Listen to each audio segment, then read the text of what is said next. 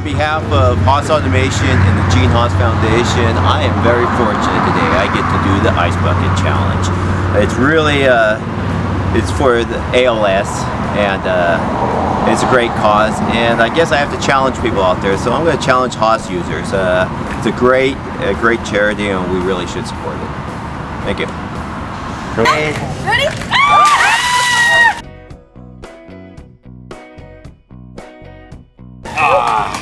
Alright, whose idea was that? Ah. Uh, yeah, I got